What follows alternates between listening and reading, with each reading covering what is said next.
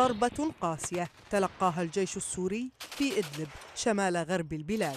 جيش الفتح تمكن من السيطرة على معسكر المسطومة أكبر قاعدة عسكرية في المحافظة.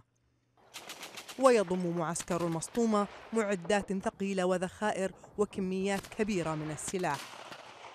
ولم يبق لدمشق تواجد نوعي في محافظة إدلب إلا في مدينة أريحة الواقعة على بعد سبعة كيلومترات من المسطومة ومطار أبو الظهور العسكري الواقع جنوب غرب إدلب. وتشهد مدينة أريحة اشتباكات عنيفة. وتلقى الجيش السوري خلال الأسابيع الأخيرة سلسلة ضربات في إدلب بخسارته مركز المحافظة ثم مدينة جسر الشغور الاستراتيجية ومعسكر القرميد.